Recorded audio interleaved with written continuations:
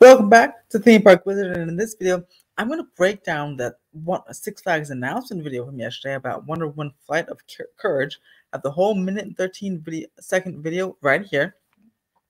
And we're going to do a little shot by shot, a little frame by frame, and we're going to go ahead and break this thing down. So hmm, then look at my thoughts and analysis as we go through and afterwards. So let's go ahead.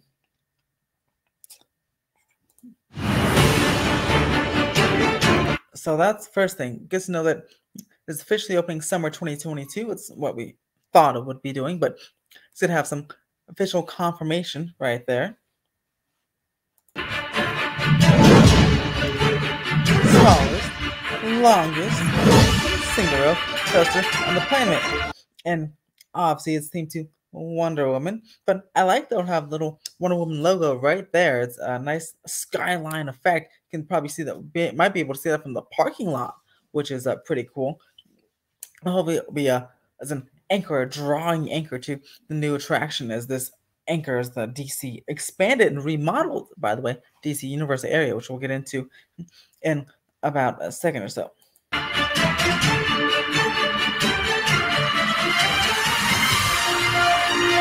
Again, beautiful skyline altering shot here as Riddler's Vengeance going right through the same time. Gorgeous. And this would be a cool effect if you're just because this is like this spot is right by um right in the middle of you know, Justice League will be right behind you, and then the Riddler's entrance will be to the left, and then here. So at the times when they're both going on their dive loops at the same time. It'll be quite loud, uh, quite impressive. Like if I can get this shot in real life next year, that'd be pretty. That'd be a, definitely a thumbnail picture for sure. Airtime Hill.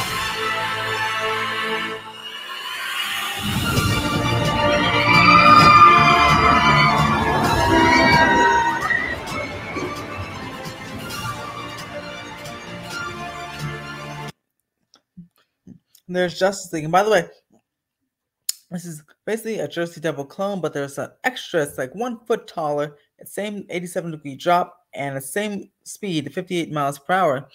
But there's 300 feet extra of track. That's because the station's oriented in kind of a weird way, so it adds an, a different type of almost wave turn into the station, which you'll see at the end of this video.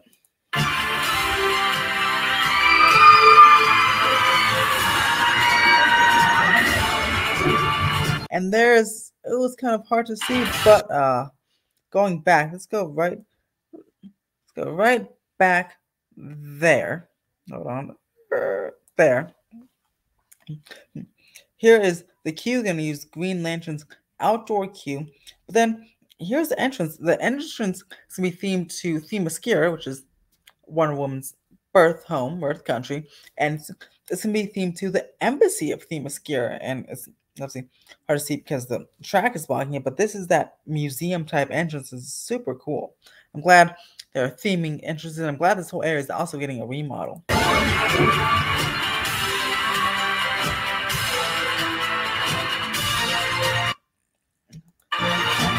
Something.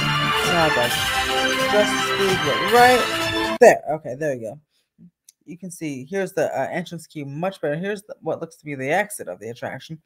But here is, or maybe flash pass than she has. I don't know, but here is um the Themyscira Embassy, which is super cool. And you can see the shape of Green Lantern's entrance, that little circle right there. They're gonna reuse, basically, do what Disney did with the the a tough to be bug theater. Just gonna reuse and kind of extend the building a little bit. Definitely, the, the original entrance is here. Original Green Lantern station is here, here, and here. But then he's gonna add some extensions out here and even above here as well. And there it is. One of them, Flight of. World world record 20th coaster. Six Flags currently has most coasters on the planet at 19. This will be the 20th. Uh, supposed to debut for the 50th anniversary, but of course COVID derailed that. But nice to have uh, the only park in the world with 20 roller coasters. And can you believe there's even room for more? I mean, especially if they expand to the parking lot and build a parking garage to free up some of that parking lot space, be even room for more 30 coasters, maybe. Super exciting. Super, super cool. And one thing I do want to see is um going on the website. Um, let's see, we just announced, yeah. So there's some specs on this just announced coaster. The level, of course, will be maximum. Arms and single rail, of course, DC Universe.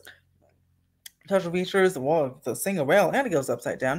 131 feet, which is again one foot taller than Jersey Devil. Oh, I could have just gone here for the video.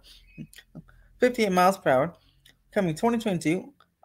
RMC be RMC's second ride in the park after Twisted Colossus, their first ground up ride. Of course, they renovated Colossus into Twisted Colossus. And you'll have a lot of stuff. You can embark on an incredible journey of heroic feats, providing through dives, banks, rolls, and turns designed to challenge the bravest of thrill seekers and um the I guess it's, kind of still newly themed, I guess.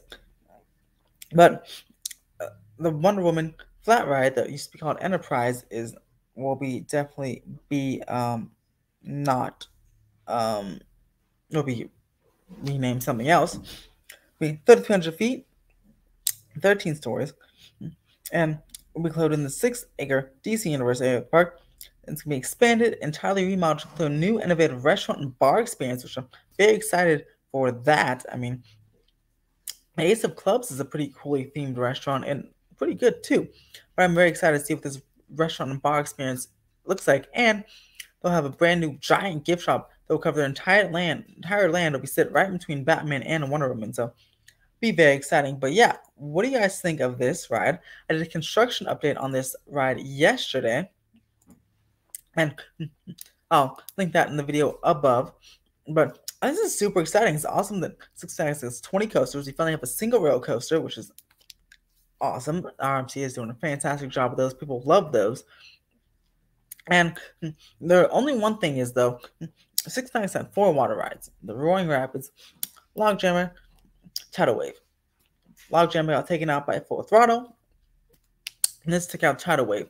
I read tidal wave didn't really make you wet. I sat in the front row multiple times and didn't get a single drop of water on me. It's really like a you have to stand on the bridge to cool off, and you get a nice big splash then. But I wonder when Six Flags will replace some of those water rides and build some new water rides. Um, because it's still again getting it's 110 degrees there in the summertime. It's very hot, so people definitely need some water rides to go to. Even if they build a water coaster like the Aquaman Power Splash, that takes a relatively small footprint, and maybe that will, or the power loop, which same thing with the loop, maybe that will uh, be Six Flags' 21st coaster in a couple years.